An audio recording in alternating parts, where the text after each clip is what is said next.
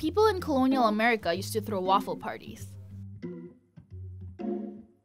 Waffles have long been a staple of American breakfast. They're also one of the oldest desserts in history. Waffles can be traced back all the way to ancient Greece. The ancient Greeks used to cook these flat cakes called obleas between two hot metal plates, the very first waffle iron though these cakes were savory, flavored with cheese and herbs instead of the sweet ones like we eat today. The makeshift waffle iron carried over to medieval Europe, where the Catholic Church used to make these huge unleavened wafer to accompany the communion wafer. These wafers were made with grain, flour, and water, and had biblical scenes, crosses, and other religious icons on them. Once the church gave permission for everyone to make these wafers, more designs popped up, like family crests, landscapes, and other artistic patterns. The possibilities were endless. Cream, honey, and butter eventually were added to the batter mix as well. Soon, around the 15th century, the Dutch began using rectangular plates instead of the circular ones, and forged them into a grid pattern that we use today. No one's really sure why the plates were forged in a grid pattern. Some say it's a way for artisans to use less batter over a greater surface. We say it looks way cooler and is perfect for maximum syrup absorption.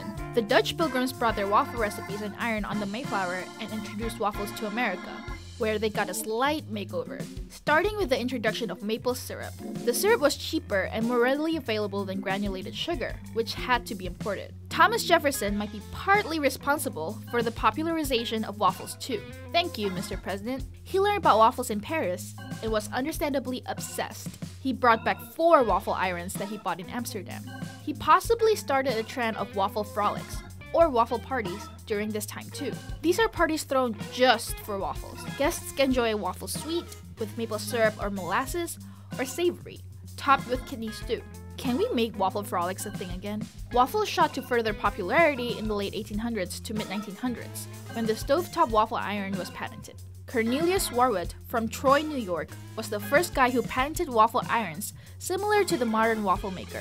A couple years later, a company called Pearl Milling Company sold the first commercial pancake and waffle mix, called Aunt Jemima, unfortunately named after a minstrel show character, but it actually is still around today. And after the electric waffle iron was invented, waffles became a staple in the modern American kitchen. And if you thought it couldn't get better than homemade waffles every day, some genius went ahead and invented frozen waffles. In 1953, brothers Tony, Sam, and Frank Dorsa invented the frozen waffle, called Froffles though they called it Eggos instead of Froffles because of its eggy taste. We could have lived with calling them Froffles, but Eggos is fine too. These days, 40% of American households eat Eggo waffles.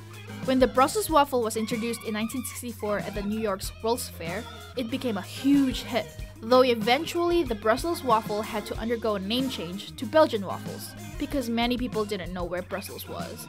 Today's American waffle looks a lot different from its European counterpart. We love to load them up with syrup and butter, or eat them savory with chicken and gravy. However, whenever or wherever you eat them, you can never go wrong with a waffle.